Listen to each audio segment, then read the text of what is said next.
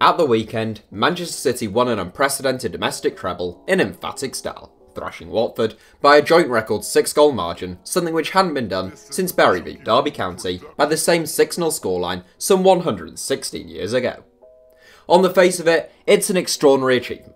The Sky Blues have now won six trophies in two seasons, amassing 198 points in the Premier League table, all while playing a brand of football so ambitious many said it couldn't be done in England when Pep Guardiola first turned up at the Etihad.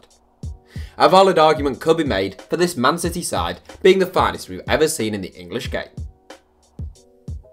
Following their history making on Saturday afternoon, though, as part of an angle that seems to have been prominent in large parts of the press for much of this season, that wasn't the story a lot of journalists in England went with as their coverage of this game.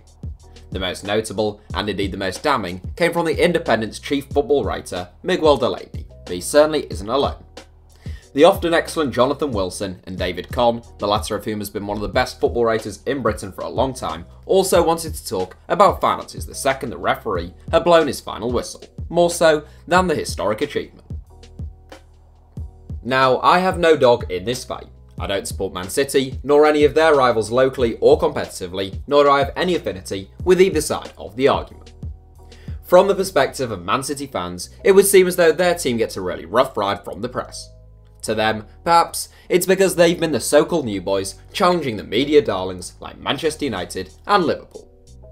Those within the media could equally argue that City's UEFA investigation for potential breaches of financial fair play is a major story that they have to cover, and the fact that other teams' fans are really starting to call Man City spending into question as their success on the pitch increases, it is fair game for them to write about it and call it how they see it. Both are perfectly reasonable viewpoints. As a neutral, the difference between the coverage of Liverpool's success and failures in comparison to the coverage of Man City's is borderline laughable, whether that's in the written press or from a TV studio packed full of former Anfield favourites. Likewise, if, and it remains an if at this stage, Manchester City are in breach of FFP regulations, whilst you could argue many teams have looked to get around those rules, they would nevertheless have broken the rules, gained an unfair advantage, and be due some kind of punishment. Some criticisms of Man City do ring a little hollow though.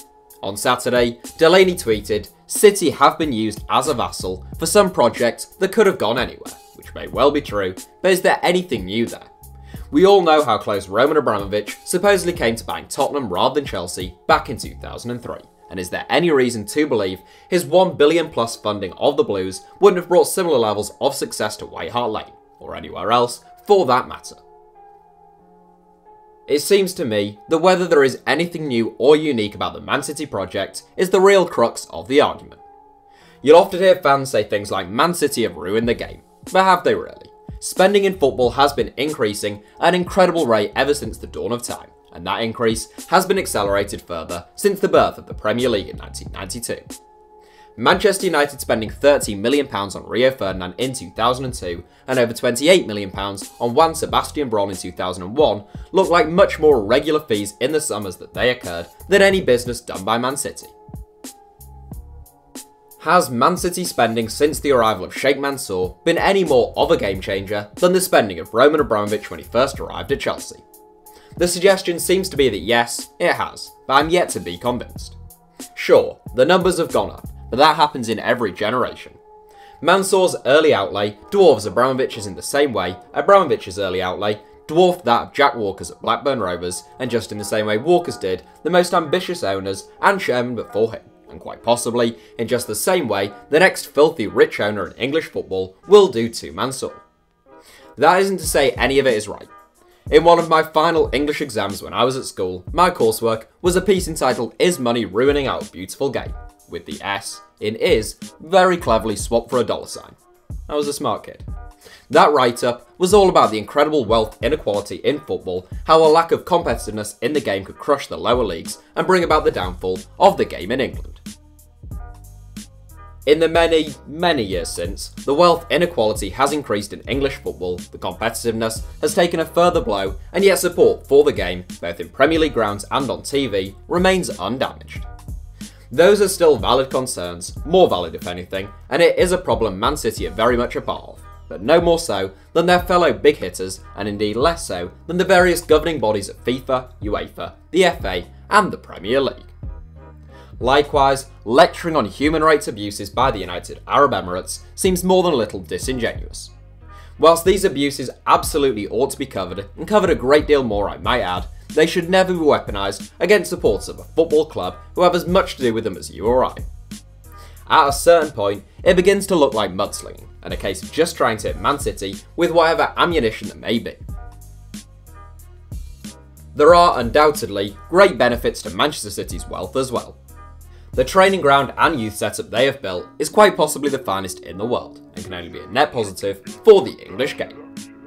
Although still in its infancy, the national team has already benefited from graduates like Jadon Sancho and Phil Foden, two of the most exciting and in many ways un-English young talents the country has seen in a long, long time. The significance of Pep Guardiola's arrival in English football in relation to the fact that it has coincided with England's surprising best place finish at a World Cup in 28 years is up for debate. What is not, I would argue, is the success of the Spanish national team whilst Pep was manager at Barcelona and the German national team during Pep's time at Bayern Munich. If you acknowledge that those two are inextricably linked, and personally, I think you'd be mad not to, then it's not unreasonable to think England, given the way Man City are playing, could be experiencing a similar benefit. Of course, the likes of Jurgen Klopp and Mauricio Pochettino, in particular, are also contributing on that front, but it seems to be Pep's idealism and relentlessness on the training ground which really sets the tone. If we accept that this is the way football is, and I do think it's a crying shame in many respects, that we have free spending foreign owners with little historical emotional attachment to clubs, and the ones who spend the most tend to get the best results, and let's not pretend that started at Man City, then are Man City the best of a bad situation? This is a club which hasn't tried to erase any of Man City's history, has invested heavily in youth development, and plays a wonderful brand of football. What's more, the Etihad employs a sensible and thoroughly reasonable pricing policy in comparison to Man City's rivals, and they seem to operate as a club that genuinely cares about how their supporters feel. Whilst I would love the English footballing pyramid to be a rich tapestry of competitive clubs who don't lose their star players after a season or two of good form, where it's still possible for a club like Stoke City to hold on to one of the best players in the world or for a manager to take over a team at the foot of the second division and have won back-to-back European Cups within the next five years. I'm well aware that those days are gone and will probably never return. So in a world where you could ask 100 football fans to predict the Premier League's top 6 before a ball has even been kicked, and 99 of them will pick the right 6, if not necessarily the right order, at least Man City are a team with footballing ideals. Love them or loathe them, I'm not sure you're even a football fan if you can't sit back and marvel at Ederson's composure, Bernardo Silva's energy and invention, David Silva's reading of the game, Raheem Sterling's near week-on-week improvements, Sergio Aguero's explosive finishing, and Kevin De Bruyne's all-round genius. This team is special, regardless of how it was assembled or how much money has been spent on it, and there's no team I've enjoyed watching in European football over the last two or three years more than them. When Miguel Delaney writes, this is the foreseeable future of football though, it is a problem. He's dead right, but I'm not sure where he's been for the last 15 to 20 years. This has been the past, present, and future of football for a long, long time. So you may direct your ire at Man City, and they ought to be punished if they've broken the rules. But this is a systematic and endemic problem with football that is in no way exclusive to the blue side of Manchester. Delaney polarised Man City's billions, with Bolton Wanderers staff having to use food banks, which again is a valid, albeit far from new concept. More importantly though, it is not a fault of Man City's, but once more a fault of football. If we are to seriously change the game for the good and overhaul it in a way which would lead to increased competitiveness, which seems as impossible as it is implausible right now, those changes have to come from FIFA, UEFA, the FA, the Premier League, the EFL, and so on. They have moulded the sport into what it is today, not the latest in a long line of wildly wealthy owners from thousands of miles away. That's it for today's video. As I say, I have no attachment to Man City nor their rivals, so I like to think I have a pretty impartial take on things, although that doesn't necessarily mean I'm right of course. I know there are some Man City fans who desperately miss the pre-Mansour days and Maine Road era, so we'd love to hear from you in the comments. Likewise, rival supporters, If you can take off your partisan goggles just for a second, what do you think of City spending? Is it really any different to what Abramovich did at Chelsea and arguably even Ferguson at one stage at Manchester United? Can you honestly say they are ruining the game rather than a more endemic problem within the game?